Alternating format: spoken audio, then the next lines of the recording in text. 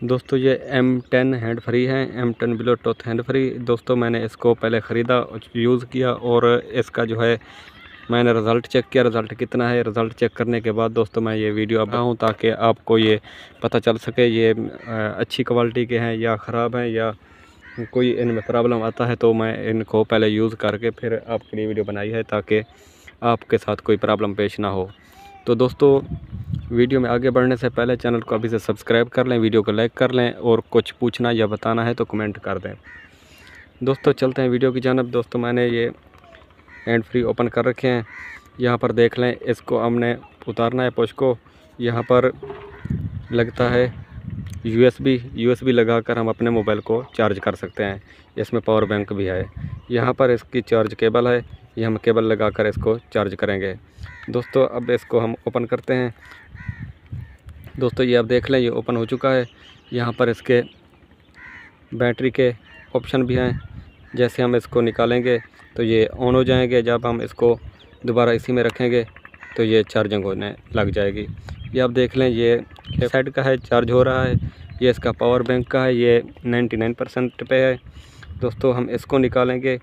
ये कनेक्ट हो जाएँगे मोबाइल के साथ, जब इसको हम रखेंगे तो ये ऑटोमेटिक चार्ज होना शुरू हो जाएँगे।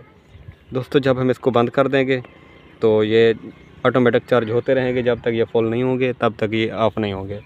तो दोस्तों, इसको अगर हम मोबाइल के साथ कनेक्ट करके इसके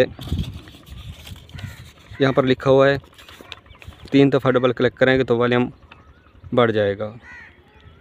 डबल क्लिक करेंगे तो साउंड नेक्स्ट हो जाएगा। यह है राइट साइड का। लेफ़्ट साइड पर डबल क्लिक करेंगे तो सॉन्ग थोड़ा सा पीछे हो जाएगा। और तीन दफ़ा क्लिक करेंगे तो इसका जो वॉल्यूम है वो डाउन हो जाएगा। तो दोस्तों, इसकी जो सेटिंग है या इसके जो फ़ंक्शन उन्होंने अलग रखे हुए हैं, वो हम इसमें पढ़कर चेक कर सकते हैं। और इसको यूज़ करने से भी पता चल जाता है।